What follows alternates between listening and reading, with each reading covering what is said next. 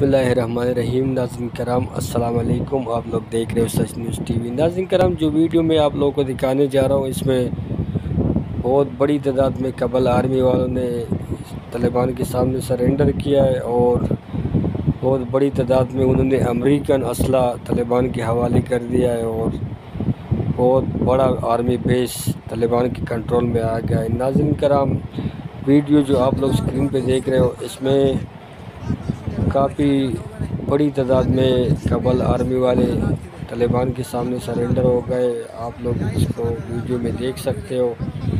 ये पूरा एक काफिला जो आ रहा है, ये सब कबल आर्मी जवान है, जिन्होंने तालिबान को सामने सरेंडर किया है और मुस्तबिल में तालिबान को ज्वाइन करने का इन लोगों ने तालिबान को अंदिया दे दिया है। नाजन कराम, ये जो आर्मी वाले नज़र आ रहे हैं आप लोगों को। इन्होंने बहुत बड़ी तादाद में अमेरिकन असला भी तालिबान के हवाले कर दिया जो भी मैं आप लोगों के साथ आगे चल के वीडियो में, वो दिखाना चाहता हूँ, आप लोग देख लेंगे।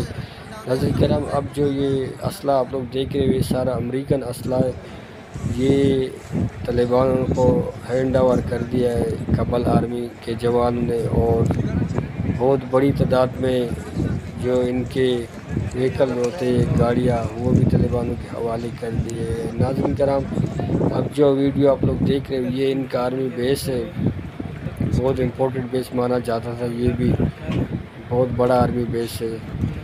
ये भी तालिबान के कब्ज़े में आ गया है। तालिबान ने इधर का माली गनीमत दूसरे आर्मी बेसिस जो अपने कंट्रोल शुदा इलाकों पे उधर शिफ्ट कर दिया है और इधर तालिबान ने मुआसरा कर रखा है। नाजन कराम, तालिबान जब किसी आर्मी बेस को फतह करते तो सबसे पहले काम ये करते कि उधर जो माली गनीमत का सामान होता है, वो वहाँ से शिफ्ट करके दूसरे आर्मी बेस में ले जाते क्योंकि हादसा ये होता है कि जैसे जो बेस फतह हो जाता है तो उसके बाद कबल एयरफोर्स उसके ऊपर बमबारी करते ताकि ये तलेबानों के इस्तेमाल में ना आ जाए। इसलिए वक्ती तौर पे तलेबान वहाँ से असला और माल गनीमत साइड पे करते फिर जब ख़तरा टल जाता है तो फिर दोबारा उसको उसमें रिटर्न आते और अपना पोजीशन लेने के लिए उस बेस को अपने इस्तेमाल में ले आते हैं। नाजिन कराम, ये आर्मी बेस है, ये कंधार की तरफ़ है,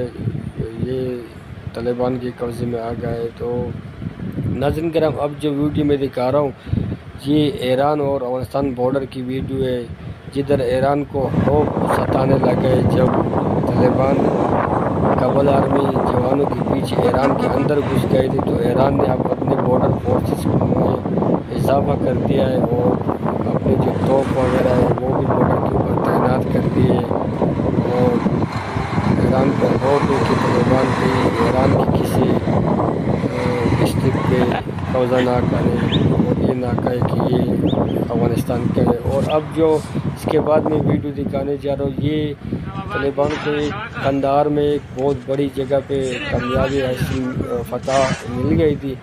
तो उधर तालिबानों ने जो अशरफ गनी है, उसके बैनर उतार दिए उसको फाड़ दिए।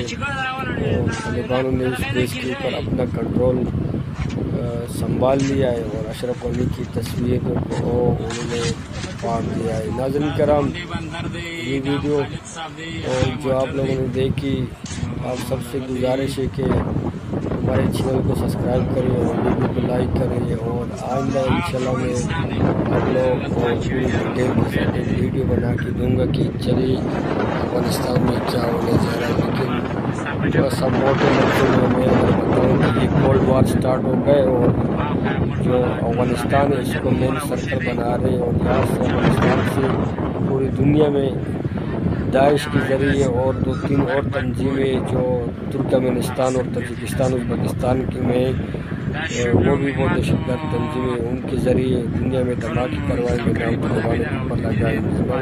अल्लाह